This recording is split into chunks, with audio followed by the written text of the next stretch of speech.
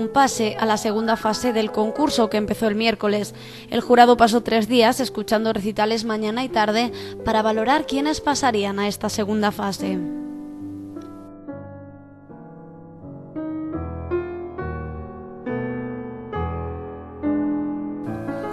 En esta ocasión el jurado estaba formado por la presidenta Natalia Lamas y el resto de los miembros, que eran el francés Jean-Paul Sevilla, el estadounidense Salomón Mikowski, el italiano Domenico Codispoti y el español Julio García Casas.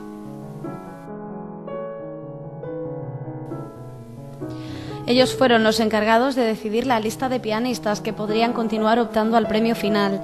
Se trata de 14 músicos que son los rusos Alexei Chuksin, Ekaterina Ilicheva, Alexandre Mutozekike, Dani Lechbekov, Alexander Yakolev, los alemanes Johann Blanchard y Butch León, el estadounidense Christopher Falchone y Anastasia Solomatina, el serbio Stefan Zirik, el francés Tim Boeb, la italiana Viviana Pia Lazarakina y la nipona Maite Ramoto, además de un único representante español que es Ambrosio Valero García.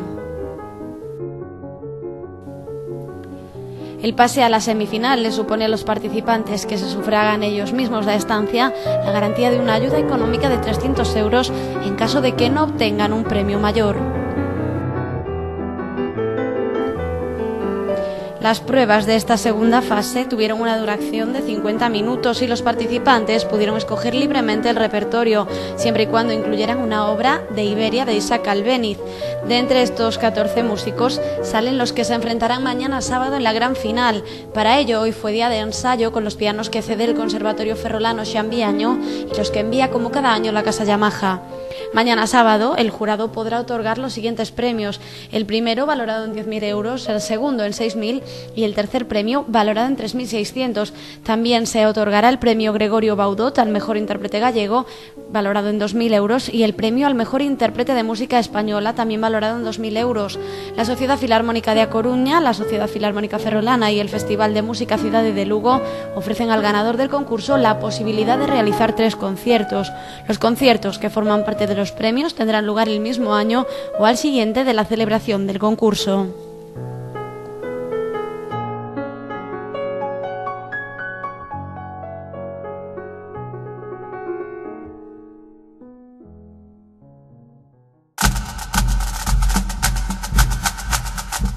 Y no podían faltar, como cada semana, las citas de la agenda cultural que les traemos.